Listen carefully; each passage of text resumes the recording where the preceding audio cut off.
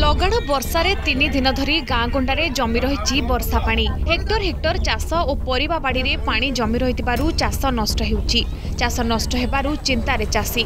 ବର୍ଷା ବିପାତ ଯୋଗୁଁ ଭୋଗରାଇ ବ୍ଲକର ଆରୁହା ବୃତ୍ତି ଏକ ଓ ଖରିଦ ପିପଳ ପଞ୍ଚାୟତର ଆଠଟି ଗାଁରୁ ଦୁଇ ହଜାରରୁ ଉର୍ଦ୍ଧ୍ୱ ପରିବାର ଜଳମଗ୍ନରେ ଅଛନ୍ତି। ଥରେ ଗାଁରେ ପାଣି ପଶିଲେ ଆଠରୁ ଦଶ ଦିନ ଲାଗିଥାଏ ପାଣି ଛାଡ଼ିବା ପାଇଁ। ରୋଷେଇ ନ କରିପାରି ଶୁଖିଲା ଖାଦ୍ୟ ଖାଇ ଜୀବନ ବିତାଉଛନ୍ତି ଗାଁ ଲୋକେ।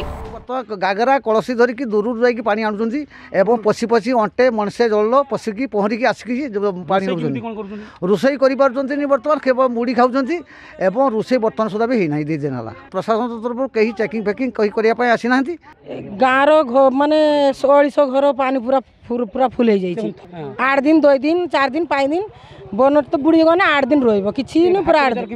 হাট বজার করতে পারুছনি সেই পিঁয়াজ ঝাল দেইকি ভুজা একা ছুঁ মানে কান্দিবাকু টিকে চিনি দেইকি খাইতে দিয়ে দেউছ বিশেষ করে আরুহাবৃত্তি একে ও খরিদ পিপল পঞ্চায়েতের বারাবাটিয়া আরুহাবৃত্তি একে নথিপুর ମିଆପାଟଣା ଆରୁହାବୃତ୍ତି ଦୁଇ ଖରିଦ ପିପଳ ନୟାପଲ୍ଲୀ ହରିଣକୁଲିରେ ପାଣି ପଶିଥିବା ବେଳେ ମଣିନଗର ଗ୍ରାମଟି ସମ୍ପୂର୍ଣ୍ଣ ବାହ୍ୟ ଜଗତରୁ ବିଚ୍ଛିନ୍ନ ହୋଇଛି।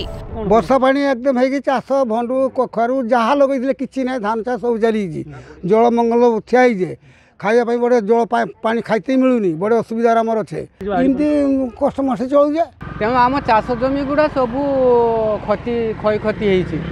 ଆଉ ଏ ସାଇଡ଼ରେ ଯେ ଦଳ ଅଛି ସେ ଦଳ ସବୁ ନେଇକି ମାଡ଼ିକି ସେ ଧାନ ଗୁଡ଼ା ସବୁ ନଷ୍ଟ ହେଇଯାଇଛି। ହଁ ପିଲାମାନେ ସ୍କୁଲକୁ ଯାଉଛନ୍ତି ମୋଟର ସାଇକେଲ ବାଲା ଯାଉଛି ବଡ଼ ଅସୁବିଧାରେ ଯାଉଛନ୍ତି ସେମାନେ। ପ୍ରଶାସନର କାହାରିର ବ୍ୟବସ୍ଥା ନାହିଁ ଏତେ ପର୍ଯ୍ୟନ୍ତ କେହି ଆସିବାର ଦେଖାଯାଏ ଜଳପନ୍ଥୀରେ ଥିବା ଲୋକମାନଙ୍କୁ ଉଚ୍ଚ ସ୍ଥାନକୁ ସ୍ଥାନାନ୍ତର କରିବା ସହିତ ଶୁଖିଲା ଖାଦ୍ୟର ବ୍ୟବସ୍ଥା କରିବା ଏବଂ ବିପନ୍ନରେ ଥିବା ଲୋକଙ୍କୁ ପାଣି ଯୋଗାଇବା ସହିତ ପାଣିରେ ଫସି ରହିଥିବା ପରିବାରକୁ ପଲିଥିନ୍ ଯୋଗାଇ ଦେବାକୁ ଦାବି କରାଯାଇଛି।